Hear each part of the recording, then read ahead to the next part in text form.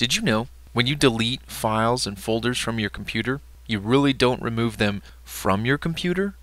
No. Instead, they get dumped temporarily into a recycle bin. What's that? Well, the recycle bin is a place on your computer where your deleted files, folders, and programs go after you delete them. Now, where is the recycle bin located? Well, first, you can typically find it on your desktop. It looks like this. You can then double click on it and it'll open up to show you all the contents inside the recycle bin that you once deleted from your computer. The nice thing about the recycle bin is that you can restore files and folders you deleted if they're still located in the recycle bin. That means if you deleted a file by accident, you can typically go to the recycle bin, find the file, highlight the file, right click, and select Restore. And that file or folder will be restored to its original location where you originally deleted it.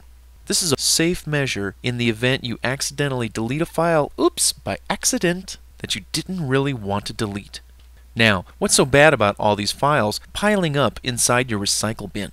Well, if you don't empty your recycle bin every now and then, you know, say like once a month or so, all these deleted files, folders, and old programs will begin to accumulate. And pretty soon, all these deleted contents inside your recycle bin will start to take up space on your hard drive. Wow, not good. Just look at this. This recycle bin has over 800 megabytes of unwanted deleted files that are sitting here wasting space on this computer. This wasted space used up by the recycle bin could be used to store new documents, files, folders, and programs. So, what do you do? Well, every month or so, you should empty out your recycle bin. Here's how. With your recycle bin open, click on File, Empty Recycle Bin. That's it. Do note, once you empty your recycle bin, all the files in there will be gone forever. There's no restoring them after they've been deleted from within the recycle bin. Another way to empty your recycle bin is to right click on the recycle bin icon from the desktop and select Empty Recycle Bin. Yep, again, it's that easy. Now, another way to empty your recycle bin is to access it through Windows Explorer. Just click on the recycle bin, always located near the bottom of the list of drives and main folders. Once you do, right click on this area where the files and folders are and select Empty Recycle Bin.